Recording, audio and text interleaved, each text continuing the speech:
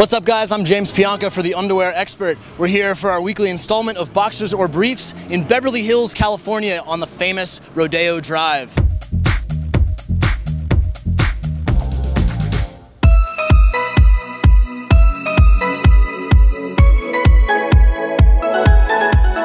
Hey, I'm here with, Raffaello, JD. and where are you guys from? Italy, Max. Max, and where are you from? London. Kendra Quinn.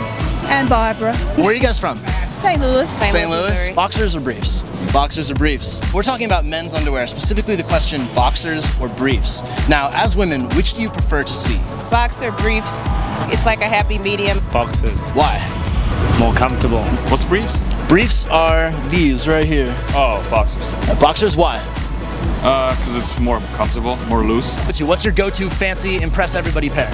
Calvin Klein. Calvin Klein. I wear Tommy Hilfiger. Calvin Klein, Polo. Do you guys have a favorite brand? I'd have to say Ralph Lauren Polo. What does your husband wear? Polo. Polo. Cool. Do you pick those out for him? or Does he do it himself? You know I'm doing the shop. what you got on right now? What is David that? Beckham H&M. Yeah. What's a big turnoff when it comes to men's underwear for you guys? When they're too big. Too big? I agree. so do you guys care a lot about underwear? I don't care about it. Um, Okay. I mean, no one can see it anyways unless I'm. I know I'm gonna uh, meet a girl later. I like to keep fresh. That's good Change answer. it up every now and again. Yeah. Depending how I feel, I put Calvin's on, David Beckham's on, Polo.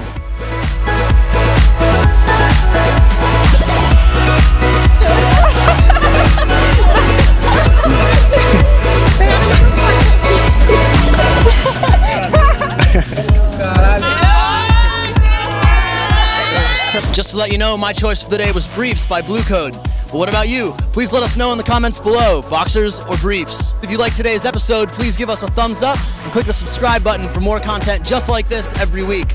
I'm James Pianka for the Underwear Expert.